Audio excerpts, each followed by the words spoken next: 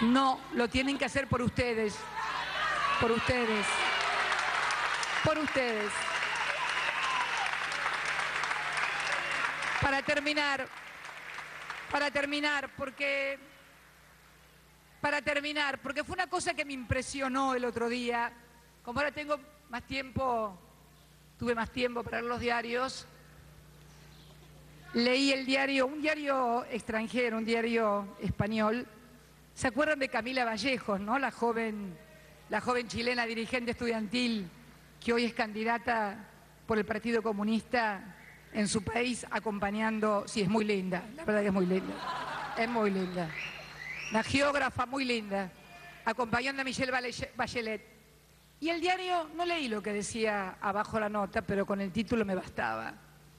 El diario decía, una foto de ella muy bonita, decía de rebelde a diputada. ¿Le suena la crítica?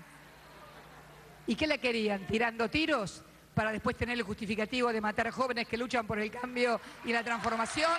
No, nunca más. Nunca más. Nunca más en serio eso. Nunca más en serio.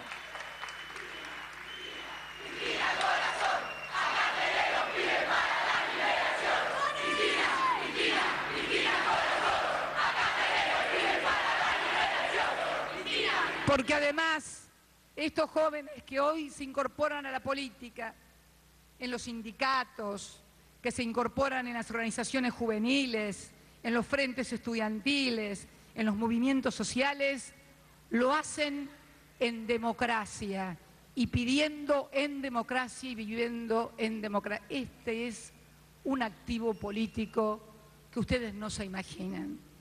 Por eso quería terminar con esto, agradeciéndoles, agradeciéndoles todas las muestras de afecto, de cariño, aquellos que rezaron por mí, aquellos, aquellos, aquellos que por ahí no creen y hoy recibí, no voy a decir de quién, un, un CD de un cantante popular muy conocido que me dice que una canción vale por dos rezos y que él rezó por mi salud. Es muy popular, no lo voy a decir, pero me debe estar escuchando y debe saber quién es.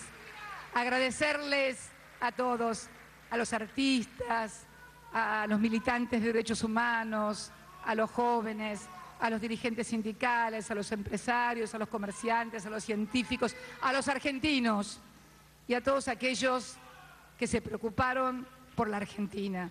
No lo tengan, no lo pierdan de vista. No era una preocupación por una persona más allá del afecto y del cariño, era en definitiva la preocupación por quien circunstancialmente le toca conducir los destinos de nuestro país. Y yo quiero, ¿saben qué necesitamos? ¿Saben qué necesitamos? Hay alguien me dice, te necesitamos. ¿Sabes qué necesitamos? Necesitamos que toda la dirigencia argentina, cualquiera sea el, el partido, se comprometa a sostener el trabajo, la industria nacional, la ocupación de los trabajadores, la educación, la ciencia y la tecnología, la inversión en materia de infraestructura. Este es el gran compromiso democrático que necesitamos para que todo este esfuerzo, todo este esfuerzo siga valiendo la pena.